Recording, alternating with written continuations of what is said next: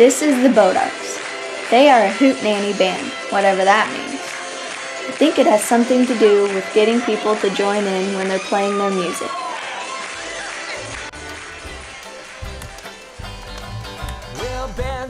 Some guy named Donnie Nelson said they create their own style by mixing together a bunch of other styles. And a man on the radio said their songs should be on the radio right now. Well, the Bodarks are finally making an album. And they want you to join in and be a part of that too, just like their Hootenannies. They've written all the songs in the two years they've been a band. Many of their songs are about America and what people dreamed it would be when they first came here, like it was some kind of new Garden of Eden.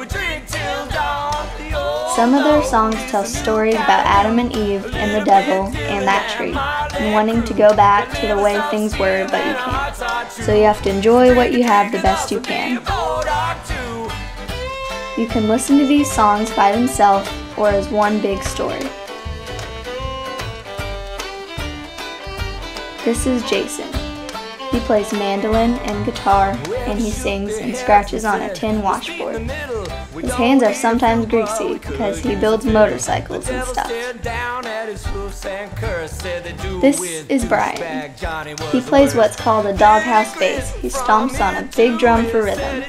He can play piano and tuba too.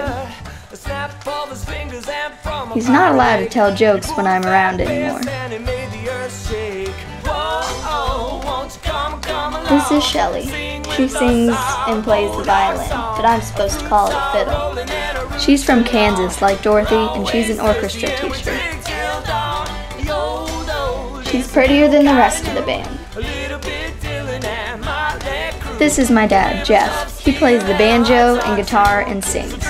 He's also a teacher, which is weird because he doesn't seem very smart. But he feeds the dogs and fixes stuff in our house.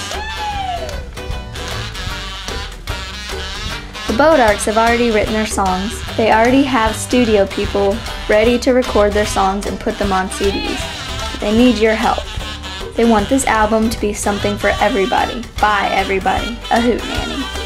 If you can donate a few dollars, a bunch of dollars, or even just tell your friends about this project, it will be a huge, huge, huge help. To thank you for your help, you get one of the first CDs out of the box, as well as other gifts that you can see below on this page.